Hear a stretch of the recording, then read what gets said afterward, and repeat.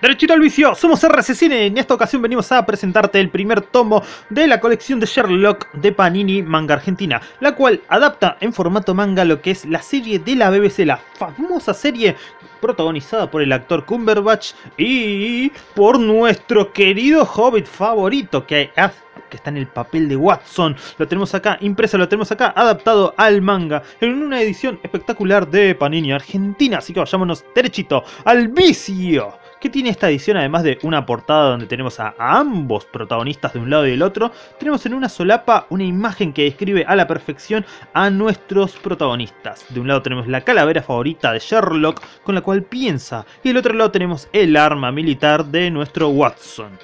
Ahora, abriendo lo que es la portada interna, tenemos la imagen de una huella dactilar, bien detectivesco, bien copado completamente en negro y gris, y esta primera edición, este primer tomo viene con un señalador bastante copado con la misma imagen de la portada de ambos lados. Ahora sí, vayámonos derechito al vicio. Porque tenemos acá una primera imagen a color con Watson gritándole preocupado a la, a la, espalda de nuestro protagonista, de nuestro Sherlock, que está a punto de tomarse... Uy, nos retomamos un viaje. Bueno, a punto de comerse un subus. Y del otro lado tenemos la página a color con ambos protagonistas espalda a espalda.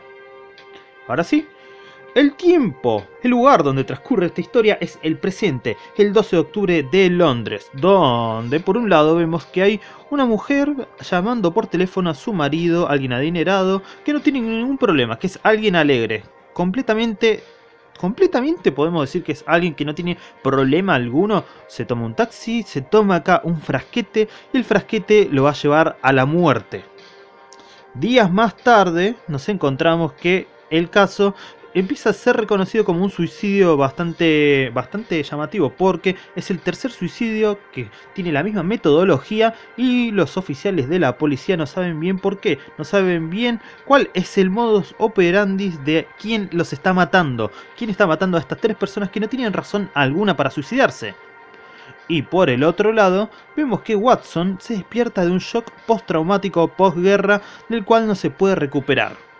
Entonces vemos acá al protagonista que se despierta como si nada, como si sus días estuviesen totalmente amasijados por ese trauma. Va ahí a ver a su terapeuta, se da un paseo por la plaza y en medio de esa plaza se encuentra al viejo Mike, al viejo amiguete, que en este caso está regordete como lo dice él mismo, que estuvo escuchando de alguien que no encuentra el lugar donde alquilar en Londres porque es bastante caro Londres. Y Mike le dice, sos el segundo tipo que me dice esto en este día. Ah, ¿quién es el otro? Y ahí vamos a conocer al otro tipo. Esperen mientras tanto, mientras cambio lo que es la música de YouTube de fondo. Y ¿Quién va a ser el otro? Nada más y nada menos que nuestro buenardo detectivesco de Sherlock Holmes. Acá nos presentan a Sherlock con un primer plano, con un plano americano, con un plano completo, amasijando una carne, amasijando un cadáver para ver los moretones cuánto tardan en aparecer. Y vemos que hay una piba ahí, una pibarda, tratando de levantarle, tratando de decirle que se tomen un café, pintándose los labios, pero él ni bola. Él está muy, pero muy enfocado en su trabajo. Y ahí es cuando en esta sala de autopsias aparece nuestro buen amiguete Watson junto con su amigo Mike. Y en cuanto entra en la habitación, ya Sherlock empieza a hacer uso de todas sus deducciones inmediatas, diciéndole, ah, vos viniste de la guerra, ¿no? Seguramente tenés un hermano mayor, al cual no le querés pedir plata. Empieza a describir completamente todo a través de lo que ve detrás de él. Y le dice, sí, mi nombre es Sherlock Holmes. Pero, pero, pero también se da cuenta de que porque vino acompañado de Mike, seguramente es alguien con quien va a compartir habitación. Y sí, nuestro Watson, en vez de escribir un, para el diario, en vez de escribir para una revista, escribe su blog personal, donde veremos que va a escribir sobre las aventuras de este Sherlock Holmes. Pero entonces lo googlea lo googlea, se va a la dirección donde le había dicho que va a vivir, que es el 221B de la calle Baker Street, bastante reconocido por los lectores de Sherlock Holmes, y ahí le presenta a la ama de llaves, que en realidad no es ama de llaves, sino que es la, ¿cómo se dice? La gerente de la casa, pero él la trata como ama de llaves. Van a ver que está todo desordenado, que tiene sus cosillas locas, como una calavera con la cual le gusta conversar, para poder sacar ideas inmediatas en todas sus investigaciones. Entonces ahí es cuando se emociona de la nada Sherlock, se recontrapone loquillo porque acaba de ocurrir un cuarto asesinato, un cuarto suicidio y eso le dará más pistas para que él pueda investigar el caso. Entonces él dice, pero pará, está, ¿cómo te va a emocionar eso? ¿Cómo te va a emocionar la muerte? Y Sherlock le dice, ah, pero vos fuiste médico militar, ¿acaso esto no te emociona un poquito? Y dice, bueno, sí, la verdad que sí. ¿Querés ver más? ¿Querés ver? Cota? Claro que sí, por supuesto. Y juntos se dirigen hacia, hacia la estación de policías para poder investigar el caso. En el capítulo 2, donde vemos nuevamente que Sherlock se presenta, vemos nuevamente cómo es la vida de Watson, de Watson ahora que conoce al famoso detective. Le cuenta a Sherlock que bueno, que él trabaja para como un consultor externo para la policía, que no es algo oficial, le cuenta cómo es que reconoció todos los datos, cómo sacó todos los datos de que Watson seguramente tenía un hermano, de que seguramente tenía plata pero no se llevaba bien y por eso no iba a vivir con él. Y todo a través del celular, del tipo de celular que tenía Watson, que lo había heredado o fue un regalo mismo del hermano. Pero, pero, pero, pero, las cosas no son tan simples. Y esto va a irritar un poquito a nuestro, a nuestro detective. Y cuando ya entran en la escena del crimen, se van a encontrar acá con la oficial que lo trata directamente de freak a nuestro Sherlock, que lo, lo odia. Podemos decir que todos los policías que están acá lo odian a, a Sherlock, básicamente. Pero un segundo que saco la publicidad. ¿Cómo puede ser que todos los todos los playlists tengan un montón de publicidad de bitcoins? Bueno, bueno, continuamos. Todos los oficiales a cargo están odiosos con Sherlock. Dicen que es un chanta, dice que él no sabe nada, tratan siempre de negar lo que él va descubriendo. Entonces acá en la escena del crimen van a encontrarse un anillo totalmente desgastado, pero que se ha sacado muchas veces. Van a encontrar el nombre escrito en el piso con sangre. Y él básicamente va a empezar a deducir, va a sacar un poquito de información, vemos acá cómo aparece la víctima detrás suyo diciéndole cuál es el error que puede estar cometiendo el asesino y a través de ese error van a poder encontrarlo. Él dice que el error es rosa, el error es algo visible. Entonces Watson, que le sigue el juego pero que realmente no entiende todo lo que está tratando de adelantar, eh, nuestro Sherlock habla un poco con la policía y la policía Donovan le dice, ¿no ves que es un psicópata? Capaz en este momento él esté aburrido y se entretiene con los casos, pero en algún momento él se va a volver un victimario. Y de ahí, de la nada, Watson, que quedó esperando a Sherlock que se tomó un taxi y se fue, recibe una llamada de... ¿Vieron esos, esas cabinas telefónicas de la calle bien inglesas? Recibe una llamada de ahí donde dicen, che, subite al próximo auto, te vamos a estar llevando, no te preocupes, no es una amenaza, pero es importante. Y acá Watson se, toma el auto, está como medio preocupado, ve una linda asistente, trata de darle charla, pero eh, el asistente ni le da bola. Lo recontra ignora. Y ahí bien a lo espía, bien a lo mafioso, nos encontramos con un tipo totalmente de clase alta esperándolo, diciéndole que se siente para interrogarlo, para pedirle que le dé información privada a Sherlock, ya que él lleva una fuerte y alta enemistad con Sherlock desde hace tiempo. Pero Watson se niega. Watson dice, no, no lo voy a hacer. Y él dice, ah, ¿cómo puede ser que le tengas tanta lealtad a alguien que recién conociste? A alguien que puede ser muy peligroso. ¿Y por qué quieres saber algo de él? Dice Watson. Ah, porque me importa, me preocupa. Incluso te voy a pagar por ello.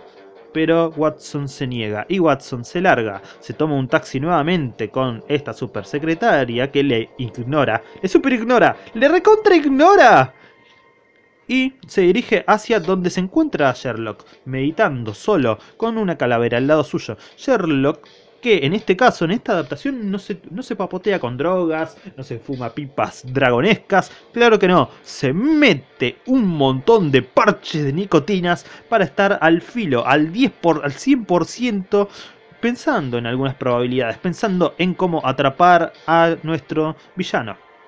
Y la única pista que tiene hasta entonces es, un, es una valija, la valija de la víctima, que resaltaba en un tono rosa. Una valija en la que no encontró el celular pero sí sus cosas. Entonces, Sherlock tiene la teoría de que el asesino tiene el celular consigo. Entonces es cuestión solamente de escribirle y tratar de engañarlo para ver si éste reacciona, si comete algún error al ver que su víctima le escribe más allá de la muerte.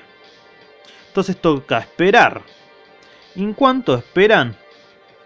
Cuando tratan de esperar, se van a comer algo, se van a comer en un bar donde van a estar esperando al ladrón. Y en el bar vamos a ver que Sherlock tiene viejos amigos. Viejos amigos a quienes rescató de la muerte, básicamente, de penas de muerte al resolver sus casos. Están comiendo ahí re tranquilo, hablan un poquito sobre cómo, cómo se llevan ellos. Y le pregunta, este tío, este momento es bastante como... Dios, es lo más Acá Watson le pregunta si tiene novia, si le interesa algo, si está saliendo con alguien. Y él dice, no, novia, no me interesan esas cosas.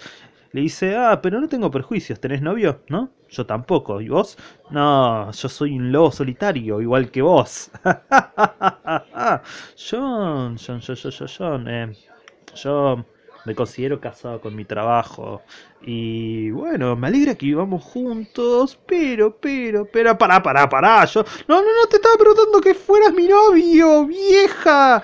Y sí, sí, esto ha sido el momento BL de la semana, el momento BL del manga, el momento BL de Sherlock Holmes. Y sí, señores, esta serie tiene mucho bromance, esta adaptación, esta esta serie, la original de la BBC, es muy bromántica. Pero sí, entonces después de este momento, de esta hermosa charla, porque encima el tipo que le sirvió la comida le dijo, ah, qué linda parejita, les voy a dar velitas, le voy a hacer toda una hermosa cena.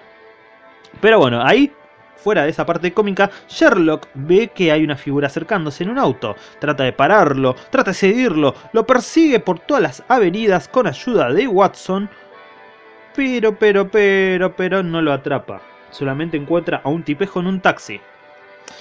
Entonces, cuando llega a su casa, nos encontramos acá al oficial de policía haciendo una redada, tratando de encontrar drogas en la casa de Sherlock. A lo que Sherlock le dice, para Watson, para Watson, ¿para qué? para Watson que es seguramente hay drogas. Entonces Watson dice, no, no, no, no hay drogas, ¿eh? Y el policía le dice, bueno, ¿me vas a ayudar con la investigación Sherlock? O te voy a tratar de chantajear para llevarte a la cárcel. Una cosa bastante argentinesca, por así decirlo, y ambos que son hermanos de nicotinas terminan trabajando juntos. Para empezar, ven que las pistas que tienen hasta ahora es que el ladrón se llevó el celular de la víctima. Dos, la víctima tenía una hermana que por alguna razón escribió su nombre en sangre y que no tiene nada que ninguna conexión con ellos. Y la hermana está muerta, muerta desde hace varios años. Y la tercer pista, bueno, acá Sherlock se la guarda, yo te la guardo porque la tercer pista lo vas a leer vos.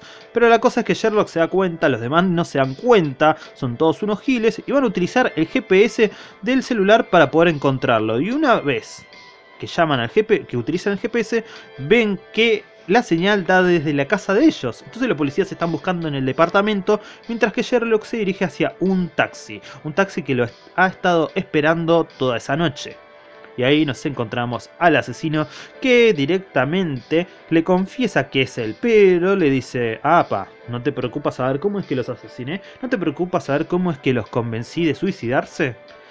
Y esto a Sherlock le intriga. A Sherlock, que es bastante, bastante interesado en este tipo de actitudes, se toma el taxi y se sube hacia su muerte, básicamente. Entonces Watson está preocupado, porque la policía está ahí en el departamento buscando drogas, y Watson es el único que le importa la vida de Sherlock por ahora. Se dirigen hacia una casa completamente vacía, tienen una charla enorme sobre cómo es su mecánica, cómo es que termina convenciendo al otro de morirse, de suicidarse, y el asesino les da dos opciones, en dos frasquitos, prometiéndole que él se va a tomar el siguiente. Pero ¿cómo es que con una charla, cómo es que con dos frascos el asesino va a lograr que el otro se suicide? Con curiosidad, una curiosidad casi medio intelectual, medio maléfica, que hace que el asesino trate de proyectarse en Sherlock, diciéndole que todo el mundo, todos, absolutamente todos son unos idiotas, entonces que siempre tratan de demostrar lo contrario, incluyendo Sherlock, y que a través de este juego, en el que pone su vida en riesgo, el otro termina pescando, el otro termina intentando matarlo, solamente para demostrar que no es idiota. Básicamente, hay varias formas de controlar y de manipular a que el otro juegue este jueguito. Pero entonces Sherlock empieza a, empieza a utilizar sus habilidades para deducir que el sujeto realmente ya estaba condenado a muerte y por eso jugaba estos juegos. Pero él no es la mente maestra. Detrás de estos, de estos asesinatos, de estos homicidios, está alguien más. Está alguien que le pide que sí o sí llame a Sherlock para llamar su atención, para tratar de acabar con su vida. Hay alguien que quiere que Sherlock muera. Entonces, ahí, cuando está a punto de irse, Sherlock cae en la trampa de nuestro homicida. Cae en la trampa de... Esperen un segundo que yo caí en la trampa de las publicidades de nuevo. Ahora sí. Cae en la trampa psicológica del asesino que lo inculca a probar si realmente puede adivinar cuál es la pastilla que lo va a matar y cuál es la pastilla que le va a dejar vivir. Sherlock va a caer, pero Watson no se lo va a permitir. Watson, que es un héroe de guerra, es alguien que está formado para poder manipular armas a través de cualquier espejo, de cualquier distancia, va a salvarle la vida a Sherlock a costa de la muerte de este asesino. Entonces llega la policía, la policía no tiene ni idea de quién disparó, no sabe quién le salvó la vida a las papas a Sherlock. Pero acá aparece nuestro personaje, aquel que había atrapado a Watson y que le había pedido que lo investigue a Sherlock por privado. Su némesis, su peor enemigo, aquel que quiere saberlo todo de Sherlock y que está preocupado por él, no es nada más y nada menos que Mycroft. El hermano de Sherlock Holmes. El hermano que trabaja para el gobierno. El hermano que trabaja para la CIA. El hermano que trabaja para aquella corona inglesa de la cual se preocupa o se distancia totalmente de lo que es la vida detectivesca de Sherlock. Es decir, ambas caras de la inteligencia se encuentran de un lado y del otro de la misma familia. Y ahí nuevamente vemos a la super asistente que les da super no bola a Watson. Bueno, en fin, así termina este primer tomo, con la amistad de Watson y de Sherlock forjada a través de un caso de diferentes suicidios, eh, ¿cómo se dice? Suicidios, en realidad son homicidios culposos con suicidios premeditados, algo así, no lo sé, no soy detective, pero en fin, terminamos este tomo con un par de bocetos del diseño de los protagonistas, acá tenemos al Sherlock Cumberbatch y acá tenemos a nuestro Watson Hobbit. Uy, disculpen, me remorí. Bueno, en fin, esta ha sido una edición bastante copada, bastante linda. Tenemos que decirles que hubieron solamente tres errores ortográficos en todo este primer tomo. Hubieron tres descentralizaciones de las palabras en los globos. No te voy a indicar cuáles son porque ese es el trabajo del que edita esta obra, del que tiene que traducir esta obra. Pero en fin, solamente hubieron 3 y 3, así que no es mucho, no es muy llamativo, pero se puede corregir. Y esperamos que las próximas ediciones, porque este tomo es autoconclusivo, el siguiente tomo también lo va a hacer, pero los últimos dos tomos son dos partes divididas, así que esperamos que los siguientes tres tomos de esta mini colección de Sherlock estén completamente pulidas, bien pulcras, que conserven la calidad y que no disminuya lo que es el tipo de gramaje de las hojas, el tipo de edición y la calidad de las páginas a color. En fin, esto ha sido Sherlock Holmes, un estudio en rosa, esperamos que les haya gustado esta breve reseña, este breve repaso por sus páginas y por su historia, y nos vamos yendo derechito al vicio para más reseñas, para más novedades y para mucho más vicio.